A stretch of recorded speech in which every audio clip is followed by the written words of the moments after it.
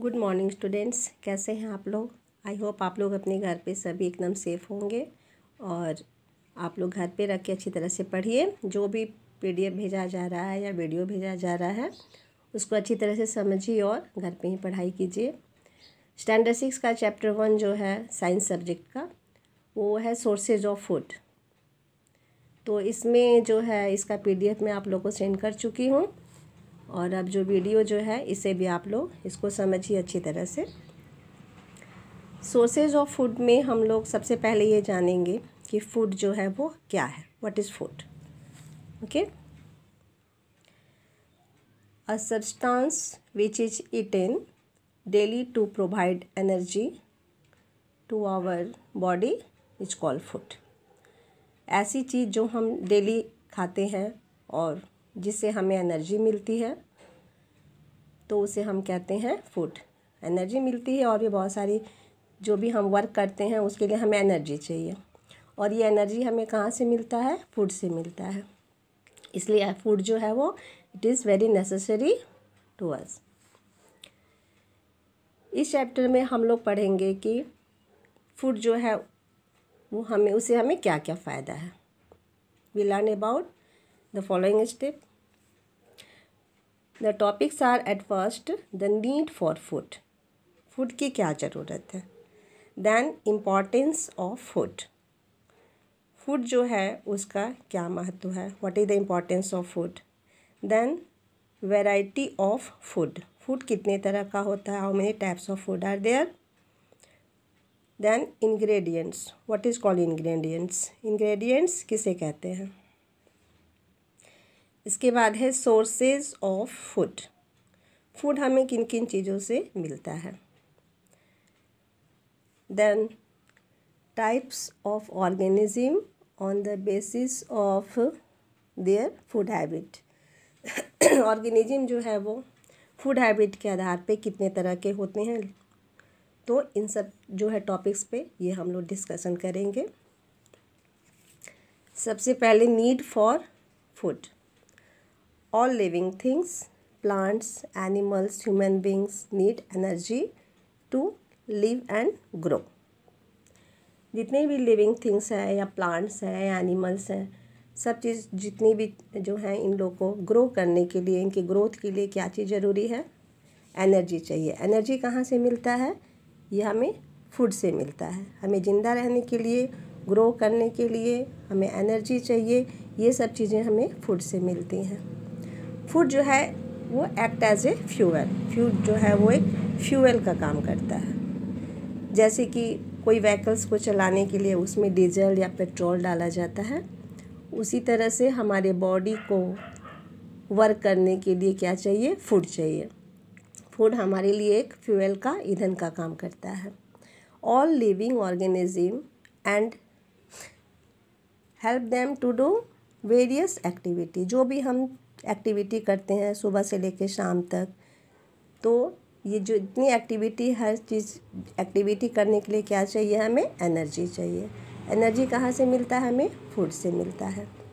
So all living organism need food so all living organism need food इसलिए जितनी living organism है, सबको food की आवश्यकता है फ़ूड की ज़रूरत है। The next topic is the importance of food food का क्या इम्पोर्टेंस है? फ़ूड हमें बहुत तरह से हेल्प करता है। It help us in many ways जैसे कि फ़ूड जो है, इससे हमें एनर्जी मिलती है। ये हमें क्यों ज़रूरी है? For proper growth and development for repair and maintenance of our body and to fight against disease and to regulate all the body functions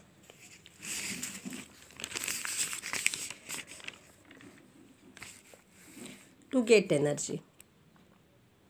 हम जो हैं, बहुत सारे काम करते हैं सुबह से लेकर शाम तक। From morning to evening we do so many works we are going to school तुम लोग स्कूल आते हो।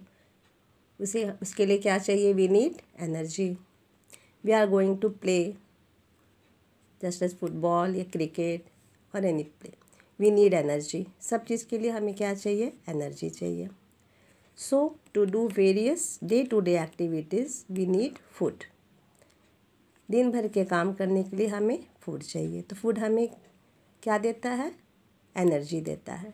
तो फ़र्स्ट है to get energy food act as a fuel for all living organism जितने भी लिविंग ऑर्गेनिज्म हैं, सब किसी के लिए फ़ूड क्या काम करता है? एज ए फ्यूवल ईंधन के रूप में काम करता है।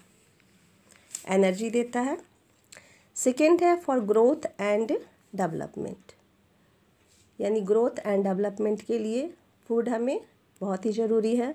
ग्रोथ ग्रोथ मीन जैसे कि एक छोटा बच्चा जो है बॉर्न चाइल्ड वो धीरे धीरे बड़ा होता है, फिर एडल्ट बनता है। तो उसके लिए उसे फ़ूड की ज़रूरत है। उसके बॉडी का डेवलपमेंट होता है, उसके लिए उसको फ़ूड की ज़रूरत है। You born as a child and for the growth and development of a child to an adult you need food यानी छोटे बच्चे से चाइल्ड से ग्रोथ होते होते वो जब एक एडल्ट बनता है, उसके लिए क्या चाहिए? फ़ूड चाहिए। You need different types of food such as protein fat carbohydrate vitamins minerals etcetera for the proper growth and development growth and development के लिए हमें डिफरेंट टाइप्स के फ़ूड की ज़रूरत होती है तो हमें इसलिए फ़ूड क्यों चाहिए? For growth and development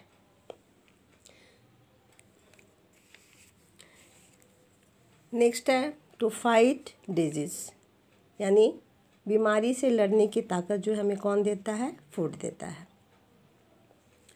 food से हमें जो है वो हमारी इम्यूनिटी पावर जो है वो इंक्रीज होती है।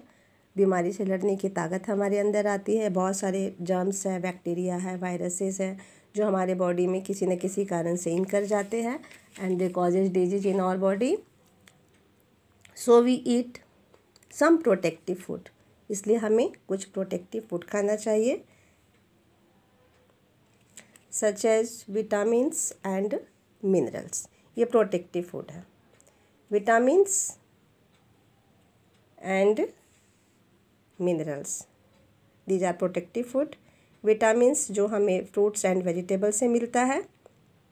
मिनरल्स ये सब दोनों चीज़ें जो हमें फ्रूट्स एंड वेजिटेबल्स खाने से मिलती हैं. इसलिए हमें फ्रूट्स एंड वेजिटेबल्स ज़रूर खाना चाहिए.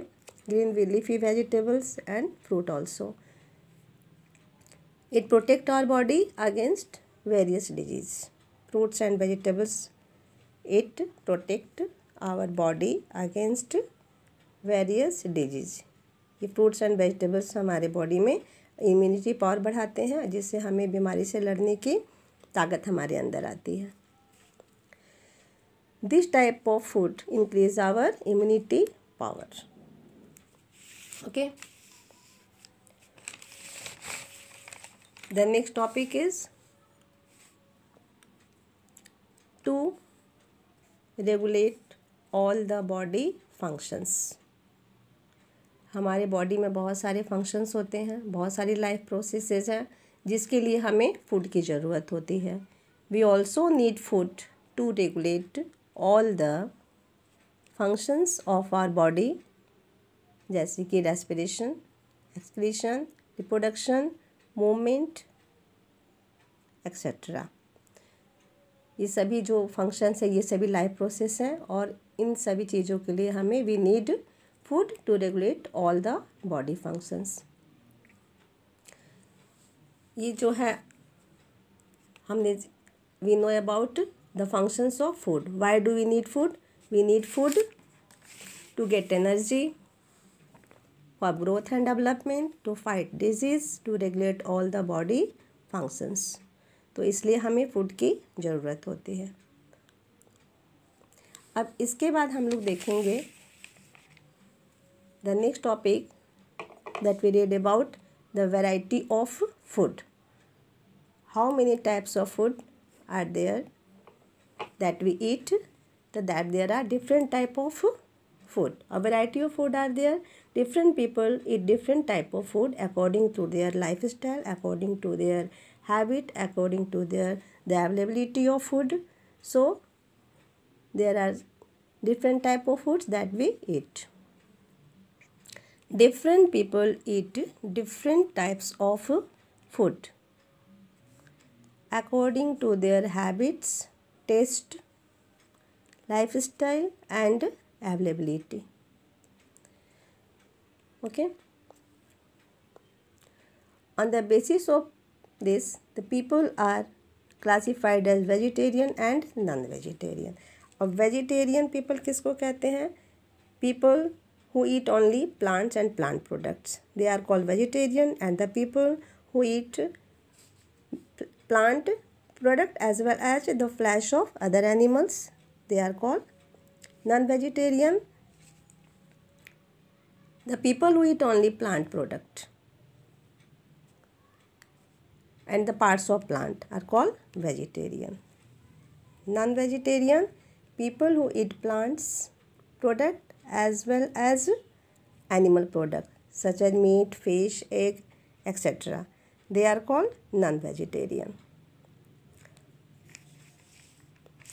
Okay okay? अब इसके बाद नेक्स्ट टॉपिक हम लोग नेक्स्ट क्लास में पढ़ेंगे Okay, have a good day.